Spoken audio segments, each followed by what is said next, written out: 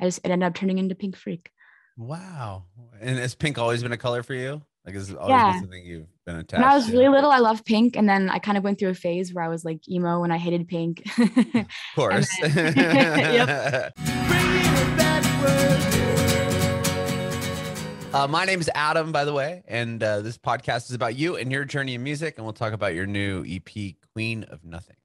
awesome, thank you so much. Yeah, cool. Um, where were you born and raised?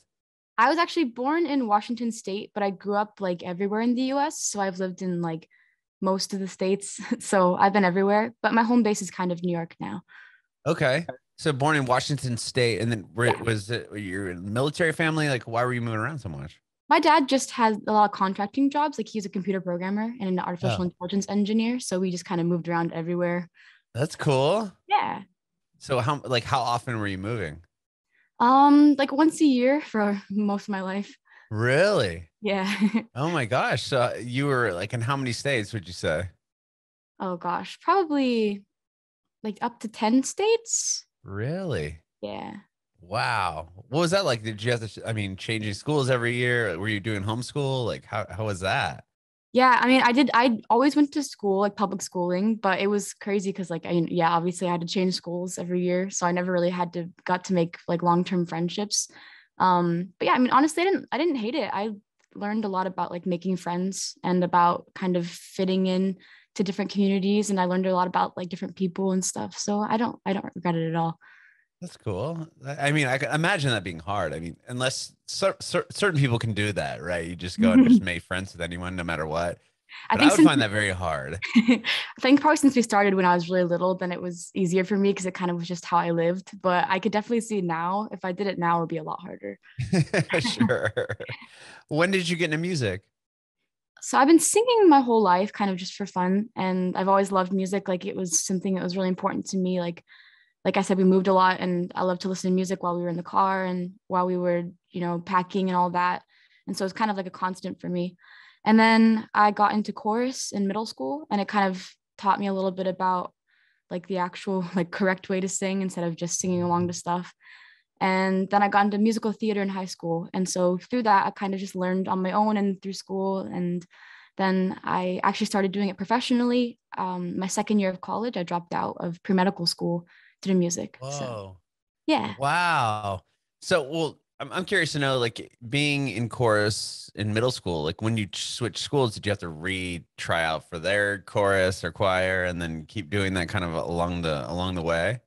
Yeah. So I only went to chorus for I think three different years in a row. And every time I had to I had to try out and go to different like get into different classes. But it was never too hard. It was it was pretty easy because I just walk in and do like the basic scales and stuff and that's it. So Oh, okay. Was there any like uh, particular teacher that you wish that you could have stayed with that you had to kind of leave?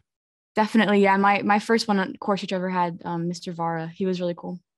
Oh, okay. And then you got into musical theater in high school.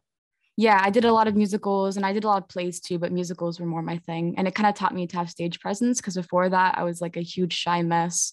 And like my freshman year, before I was in theater, I tried out for like the, they had this like, you know, like America's Got Talent, but they had it for like mm-hmm. our high school. Oh, and cool. I tried out for that, but I was like a huge mess because I'd never performed in front of people really like on my own. And so, but through theater, I learned a lot about like just being myself on stage and stuff. And I got a lot of confidence through that. So. Was that a? I mean, that must have been a hard thing to do, right? Getting on stage. I always find this funny, like people that do their first performances in front of their entire school, where it's like the most probably brutal people that could ever be judging you, and you're gonna have to see these people all the time, right? After Yep. that. I mean, I would imagine just going into some random coffee shop would be so much easier because you're probably never going to run into these people ever again. You're probably right. Yeah. That's wild. Um, so what were you moving that much when you're in high school too? So once you got into musical theater, were you still moving every year? no, actually, in high school is when we settled down. So I stayed in Florida for all of high school, and it was kind of like a we did that for high school because it was like it's hard to transfer credits and stuff like that. So we were like, let's settle down somewhere for high school, and so that's where we, we went to Florida, and then I stayed there for college too. Okay. Yeah. Wow. So you went to school for med, pre med, you said? Yeah, I was in I was a philosophy major, but for pre med path. Yeah, Wow. What- did you want to do? I wanted to be a psychiatrist. Oh, cool. Yeah. And then okay, so you wanted that was your goal, right? Your end game, and then you ended up dropping out your second year. yeah so it was kind of more like my parents goal i mean like I, I i did want to do something like psychology helping people but obviously like parents want you to have a job that makes sense and that can mm-hmm. make you money and they care about that and so my parents were like yeah go to pre-med it's probably the safest bet for you but then like my second year i kind of realized that it wasn't the right path for me like i don't know there's like a lot of like bars when it comes to like psychiatry for what you can and can't do when it comes to helping people mm-hmm. that for me were like the bars were too big and I wanted to find another way to help people that was, you know, that had less like rules and that had less of a like a long time like money commitment and you know like stuff like that. So I wanted to just find my own path in that world. So Is did you find that with music, being able to Sure. write lyrics and singing to people and probably changing people's lives as far as that perspective went? definitely like I didn't even plan it at first for honestly it was like an outlet for me because I'm bad at talking about my feelings and stuff like just to people. But music was kind of a way to talk about the feelings that I had that were harder to talk about just face to face. And then it ended up being that it, by me doing that it helped other people too like me and so it kind of just worked out that i got to do what i wanted to do in my life while doing something you know not philosophy or not psychiatry but music so Sure. When did you start seeing that in your music? Were people reaching out to you like online or like when did you start seeing that you were making a difference in people's lives? yeah it wasn't right away because at first i was doing like covers and i was posting songs and no one really heard them but i wasn't really discouraged and then i guess it was probably around when i released a song called hold your phone which was a song for like suicide awareness day and Mm-hmm. I put it out, and a lot of people reached out to me saying that it helped them, and I just kind of gradually more and more. Some I'd had fans who would message me and tell me that things, you know, what I said would help them, or that they never thought that anyone thought the way they did until they heard my lyrics and stuff. And so, like through that, I just kind of realized that there's ways to help people that work for me. That must have been pretty impactful, I'd imagine. For sure, yeah. Wow. Um, what was it like getting those first messages from people? Were you kind of overwhelmed or how did Yeah, you it's ki- process that? it's kind of overwhelming. I mean, it's obviously an amazing honor and it's like helps me keep going in what I do, but it's also kind of scary because then I, I fear that if I mess up, I might also affect them negatively. And so Mhm. there is a bit of a burden there where I just, you know, if I'm able to affect them that much positively, then it's possible that I could mess up one day and hurt them too. But sure. I like to That's think good point. positively when I can. Yeah. I mean, it, that is my biggest fear lately. I think with the more and more I get more and more people messaging me, I think more and more about how my influence is growing. And it scares me to think that I could possibly hurt people. But I think if I just keep, you know, staying true to myself and caring about who I'm singing to and not about making money and all that, then I think I'll stay on the right path, hopefully. Sure. You're the first person that's ever mentioned that to me. I've Really? done like uh, 800 of these. Uh, really? And you're the first person that ever said something about maybe affecting somebody negatively. Like, and Yeah. that just kind of says something about you. Like, you're thinking about uh, uh, everyone else, that you know, aside from yourself when you're writing your songs. Do you feel like that affects your like moving forward, like getting those messages? Was that even a thought in your mind? Like, okay, now I have to like make sure what I'm writing isn't going to flip the switch on people. I think it makes me think about it a little more, but in general, as long as I keep to what I've been planning, like what I want to say in my music, it never ends up being harmful. But sometimes it helps me steer away from people who are trying to get me to sing songs about like partying and stuff like that, things that aren't really like my up my alley. It helps me like stay focused on the path that I'm already on. Um, Mhm. so I don't think it affects me. Like it doesn't change what I'm doing, but it just helps Mhm. me stay focused on what I'm doing now. I like that. I like that. Do you play an instrument or just sing? I play uke and I play bass. Okay. Oh yeah, I've seen pictures of you with the bass. Yeah. So when did you start? Uh, what was the first instrument you learned how to play? Um, so I played a little bit of piano when I was younger. My grandma taught me some. Oh, but cool. like I never got too good at it. Like I played in like a talent show once. Like I played for Elise, but it was like pretty basic. And then um the first instrument I really got into that like, was like mine was the ukulele and it was in high school. And I actually there was someone in high school who played it all the time while we were in theater and I always like admired him. So I bought a ukulele to try too. And that's kind of when I started playing uke and that's the first instrument that I wrote music on and stuff. So wow. And Yeah. okay, that's cool. And so did you play it all through high school? And obviously now you still play it. When did you pick up bass? Um, I picked up bass a couple years ago because I was thinking I was going to like start performing for real. Like before, I was performing to like backtracks mostly with like some Mhm. synth. I'd play a little bit of like basic piano, but um i wanted to actually start like rocking more on stage. So i was like i don't i don't love playing guitar just personally. It's so hard for me to learn. And bass for me like when i picked it up it just felt so perfect and like intuitive. Mm-hmm. and i also love just like how loud it is. So. sure. It's booming yeah. for sure when did you start uh when did you write your first song and actually show that to somebody? Like what was the first song you ever put up online? What was it like doing that I think one of the first ones I ever put up online was called A Note. And it was, I wrote it on like GarageBand and it mm-hmm. was like, I wrote it in college, like back when I was just first venting. And that's actually, so my dad heard my music super early on when I was still in college. And he was the first one to be like, hey, maybe it'd be cool if you like took a break, like a semester break from college and tried to focus on music a little bit. And he like, wow, he, it was really cool. Cause like, I know a lot of people don't have parents that support them through, you know, endeavors like this. So I felt really mm-hmm. lucky and he yeah he was one of the, he heard like my first like five songs and he was like this is actually really cool like maybe you should do something with this and so he was the first person to ever hear my stuff. Wow so he was kind of a big advocate for you early on. He was yeah he always has been. That's really cool. And then when did you start seeing a little bit of success? Um my first or my second release i think was sorry i love you um mm-hmm. and when i released that one it was all like super indie like i just made that on a GarageBand and i put it out through like uh, some distribution website, and then I used like SubmitHub to put it up on like playlists and stuff like that. Mm-hmm. And um, that one got a lot of traction early on for me as someone who'd had like a couple hundred plays on songs before. I got like a few thousand pretty fast. Wow. And yeah, so that one was my first one that people like actually heard and knew was Sorry I Love You. And that must have been cool, a cool feeling, like a validating moment, right? You're like, okay, really people cool, are yeah. yeah, digging what I'm doing. It was and awesome.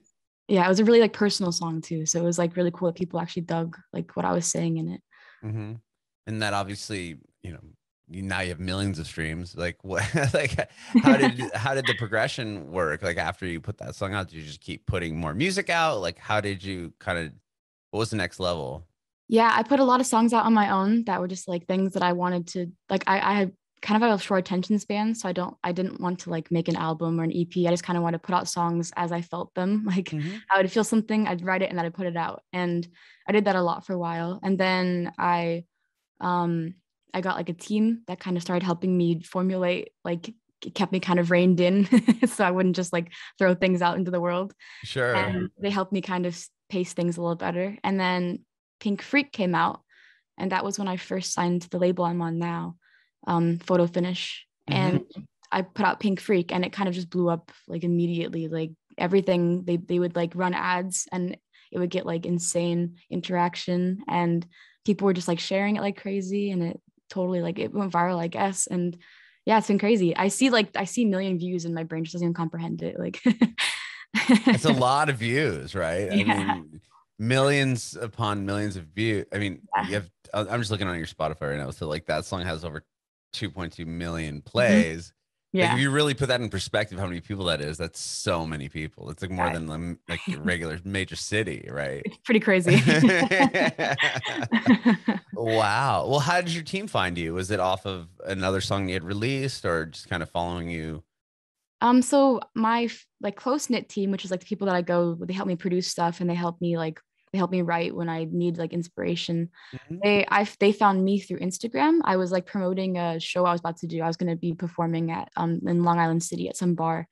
And they messaged me and they were like, "Hey, can we come see you perform and chat about producing?" And I was like, "Yeah, sure." And so they came and we like sat down and talked after my show and we just like hit it off like as people and as musicians.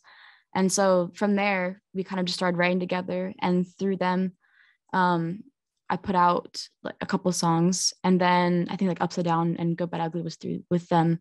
And then we found the label, the label found us and we found the label kind of like back, like, cause we, we kind of knew each other. Mm-hmm. Um, and so, yeah, that's kind of how it all came together it was basically through Instagram initially. So, wow, that's cool. Yeah. And when, when did this all happen? Was it uh pre pandemic, I would assume? Yeah, it was like, I think a year pre pandemic about was when I got signed. Okay. And yeah. how long? Well, uh, Pink Freak is on your new EP. And yes. was that a song you put out a while before the EP came out? Yeah, I put it out a couple of years ago actually. And it was like, I just, I kind of wanted to use it to like tie it into the story that I had for my EP. And so I kind of brought it back in like a way that kind of brought life to it again. So. Mm-hmm. That's yeah. awesome. Where does the pink thing come from? I'm just curious. Obviously, it's a, probably your favorite color. Yeah, the favorite color, but also so the the song itself came from I like I was sitting down in a cafe and I was just kind of writing poetry about like how I was feeling and how for a lot of people they say that like you know they kind of assume you have to look a certain way when you're sad and they use colors like blue or even like mm-hmm. black or darkness but for me i always like even when i'm sad i still dress pink i still wear the colors i wear and so i just i was kind of writing a poem about like rose colored glasses and pink and blue and stuff like that and i just it ended up turning into pink freak wow and has pink always been a color for you like is always yeah. something you've been attached. When I was to? really little, I loved pink, and then I kind of went through a phase where I was like emo and I hated pink. of course. and, then, yep. and then yeah, now I'm kind of I'm back to being like, why would I hate pink? It's cute and I love it. That's cool. I love all your your artwork too. That it's all affiliated with it. Like even like you have the photo of you with or the drawing with the blood, but it's pink. Yeah. like just all yeah, the aesthetics of it. It's cool. I love it. Thank you. Um, Mm-hmm. When did you like? Where were you at when this whole when the pandemic happened? Were yeah, so I was actually, or I was actually um like two days before a tour I was gonna go on with someone called Bülow, and I was like gonna be opening for her on a tour um in like Chicago, LA, and something like that, New York, and like the day the two days before lockdown first happened we had our like last rehearsal and we were like hopefully things don't get too bad and we can do our we can do our tour. And then like we got the like that night after the rehearsal we got the text that they were canceling the tour and stuff like that. And so it crushing? really sucked. It was very crushing. And like it was because it was my first real like you know tour across the country to like see my fans and stuff. And it really sucked because we were like super excited for it. But at the same time just you know we have more opportunities now to do other things and hopefully that we can do a tour again soon once it's safe. sure. And there must have been like wind of it in the air, I would imagine, prior yeah. to the rehearsals. Yeah, we, we were like, it was already kind of becoming a thing, like the COVID. We were still kind of hopeful. And they're like, oh, no, it won't be, don't worry, it'll be fine. Like, it'll blow over. Like, there's no cases really here anyway. Right. And then, like, like that night, they were like, oops, just kidding. Not safe. That's crazy. It's, it just blows my mind still thinking back at that. Like, yeah, it was pretty, everyone was just assuming like, oh, that never happens here. Yeah, everyone like, just assumed it was not a big deal. It was crazy. We were all like, oh no, everyone's exaggerating. Like it's not a big deal. And like it just hit so fast. Yeah. Yeah. I was in my family and I we just moved to Nashville, but we were in San Diego. We were born and raised in San Diego. And um I remember hearing like there's like two cases in San Diego and, and, like people are freaking out. I'm like, what are you freaking out? Like, wh- wh- you know, this is right. Th- th- when SARS happened, it was like the same thing. Like one person like in our city had it. It was like yep. no one, nothing happened. And then now it's, it was like, how quickly yeah. did that change? You know, so I mean? fast. It's yeah. just blows my mind even to think about it now and how people are still inside. I mean, shows just started happening. Lollapalooza just happened like this weekend and it's crazy. I know. To like my mind was like just watching they were doing like streams online. I don't know if you had a chance to see any of it. It was just crazy to watch it. It was like yeah, I was seeing it was crazy seeing how many people were out there. I was like surprised that it's kind of like all of a sudden everyone's outside again. right. Yeah. Like Bonnaroo is happening here in Tennessee, and it's like what? Crazy. but I'm excited. Don't get me wrong. it's just wild. Okay, so talk to me about this new EP it came out this year, right? Not that long ago. Yeah, it came um, out a um, couple a couple weeks ago. Yeah. Okay, a couple weeks ago. Yeah. Um, when did the obviously Pink Pink Freak was a song that you had written a couple years ago. Like how, what was the process behind the album? Was it or the EP? Was it something you continued to work on? Is there like you said, there's kind of like an underlying theme to it? Yeah, so we've been kind of writing it for a while now. I've been writing like pieces, like some songs here and there, and um, I got to a point where I kind of wanted to tie it, all these songs I've written together. And I started to notice like a theme that I'd been, maybe it's just because it was stuck in my head, but I was writing a lot about like queendoms and like, you know, like gems and kind of like materialism a little bit. And mm-hmm. I kind of, through writing it, I kind of weaved this story. Um, and for me, it was a story kind of about how I, like I said before, my fear of the future and what I could do for my fans and how my career could go. And it's kind of like a, whenever I have interviews, people ask, where do you see yourself in 10 years or whatever? And I tend to be pessimistic. And my brain is like, well, in 10 years, you might do well in your career, but you also might crash and burn and mm-hmm. then like destroy everything. And so this EP was kind of like my response to that question in like a pessimistic way of like, as a story of like this queen who you know gains this community of people who understand her and then she kind of loses it all because she messes up so wow uh, I'm glad I wasn't going to ask that question. so actually, by the way, that, that was my next one. okay, like it was so. This was something that kind of came together, like the, the storyline and the concept. Like, were you like weaving it together after you were, you know, the tour was canceled, or did you kind of already have this idea for what would become this record prior to the tour? Um, it was after it was after the tour. It's actually towards the end of um like the pandemic, like sh- lockdown and stuff. Like when things were starting to open up again, was when mm-hmm. I went back and kind of started weaving the story because I already had a couple songs that were end up on the EP, and I wrote a couple more, and it all kind of came together like pretty close to when I released it. And so yeah, I kind of weave the story like as I was writing the songs and also kind of after the songs. Okay. Okay. Yeah. And how did how did you adapt to the pandemic? Like in the beginning, were you like, okay, this thing's gonna blow over, and then what? Like two weeks later, then it's okay. How do I, how do I yeah. pivot and kind of continue my career? Like, how did you ad- adapt to that? Yeah, at the very beginning, I was hope I was like, oh, cool, like I get to kind of like chill for a while and I get like an excuse sure. to chill for a while and it'd be nice like because I was kind of running around doing a lot of work mm-hmm. and then suddenly it was like okay well it's been a lot longer than a while right and then like yeah everything shut down like there was no like music releases or anything going on like literally nothing and we couldn't obviously couldn't film or anything and um, my whole family ended up moving in because uh, my mom and brothers lived in Florida for a while because they were still in school after I moved here. But they came and ended up, we all kind of moved together into an apartment here in New York. So it was like me, my dad, my mom, my two little brothers, and we were all in like this tiny apartment.